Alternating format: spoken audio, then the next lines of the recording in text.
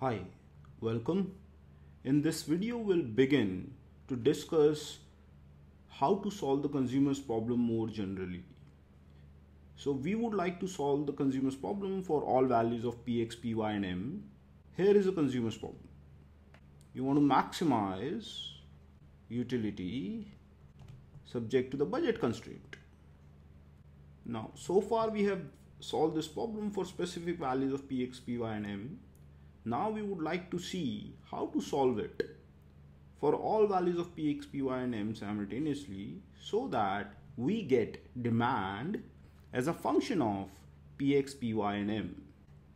This is known as the solution. In this case will be demand function and it will be the function of Px, Py and M because as we vary px, py and m, the solution can vary. Okay? So we would like to solve for the demand function for x. Let's first scene plot. Okay, so here is the consumer's problem. This is our budget line and this is our budget set. So this is a constraint. And we would like to pick the best point for this particular consumer in this budget set.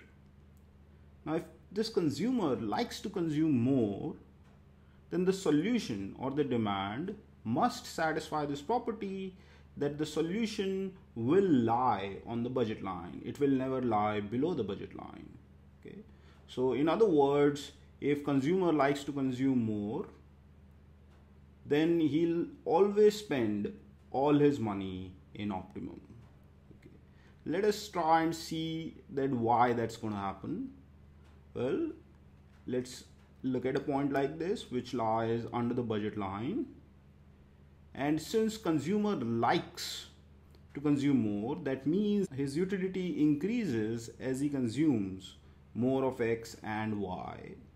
So clearly there is a scope to increase the consumption of both x and y if he's going to move in this direction. So anything below the budget line can never be optimal so the solution to this problem, if it exists, must satisfy the property that in equilibrium he'll spend all his money. Now let us see if this property that consuming more gives higher satisfaction holds for the kind of utility function that we have seen so far. So if you consider an individual whose utility function is xy you can easily see that consuming more of x or y increases the satisfaction level okay?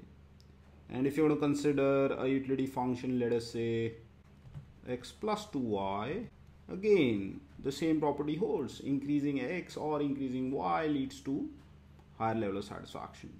What about minimum xy well minimum xy again if you want to increase both x and y the satisfaction level will necessarily go up.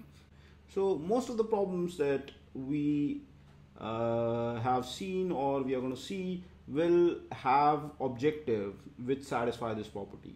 So that means that when we'll be searching for an equilibrium or the best point then all that we have to do is we just completely we can completely uh, ignore things that lies inside the budget line and we can just look for the solution only on the budget line.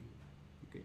So we have learned in this video that if utility is increasing in x and y then in optimum the consumer will spend all his money. Okay. Thank you